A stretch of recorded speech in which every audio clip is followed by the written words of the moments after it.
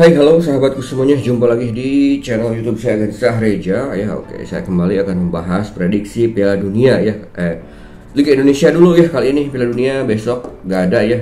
Libur dulu pokoknya tuh sebelum babak perempat final oke. Oke mohon maaf kemarin Liga Indonesia hancur ya.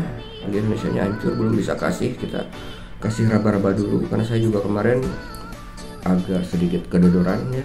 Eh, uh, prediksinya. Jadi mepet gitu kan kedodoran itu mepet ke jam waktu satu jam sebelum uh, kick off. Saya baru saya baru prediksi. Jadi saya kemarin juga nggak sempet pasang gitu tapi alhamdulillah di liga di Piala Dunianya setelah kemarin di pertandingan sebelumnya di hari sebelumnya saya gagal jackpot di dua harinya. Loss ya. Sekarang hari ini tadi malam kayak Brazil sama itu jackpot ya sama Jepang ya. Jepang juga berhasil menahan imbang di waktu normal ya walaupun akhirnya kalah kalah juga Jepang dari penalti.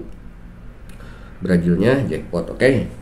Oke, okay, beralih ke pertanyaan berikutnya. Mudah-mudahan kali ini sekarang di partai uh, Liga Indonesia berikutnya yang akan saya prediksi adalah ada Persebaya lawan Barito Putra ya.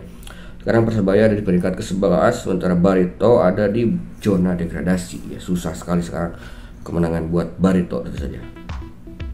Di bursa handicap tentu saja Persebaya di sini diunggulkan dengan memberikan kurs setengah kepada Barito. Ya, wajar sekali karena ini bermain di kandang Persebaya juga. Mari kita segera prediksi lewat pendulum analis. Persebaya lawan Barito Putra bakal menang Persebaya. Oke bosku maju mundur ya. Persebaya lawan Barito Putra bakal imbang atau draw. Tidak akan bosku. Persebaya lawan Barito Putra bakal menang Barito Putra. Tidak akan ya. Oke menang Persebaya ya. Persebaya lawan Barito Putra menang Persebaya selisih satu gol. Tidak akan bosku. Selisih dua gol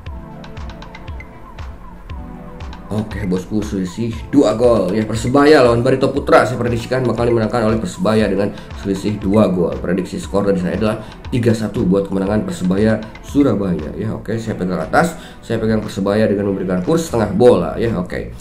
Terima kasih. Uh, sampai jumpa lagi di video-video berikutnya. Masih di prediksi Liga Indonesia. Ya karena Liga uh, Piala Dunianya lagi istirahat dulu satu hari. Besok sebelum babak perempat final Oke, terima kasih sudah mengikuti. Sampai jumpa lagi di video saya yang berikutnya.